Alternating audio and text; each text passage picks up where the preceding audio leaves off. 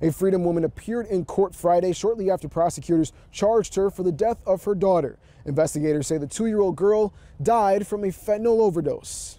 28-year-old Brooke Seal is charged with child neglect resulting in death. Police say her daughter, just two years old, was found unconscious at home in early January and later died at a hospital. Police say the level of fentanyl in her system was enough to kill an adult. Miss Seal has been or was in contact with another male resident she allowed to live at the residence who also had fentanyl, that there were communications between them regarding uh, accessing and, and purchasing uh, or getting some uh, fentanyl. And bond was set for half a million dollars and Seal faces up to 25 years if convicted.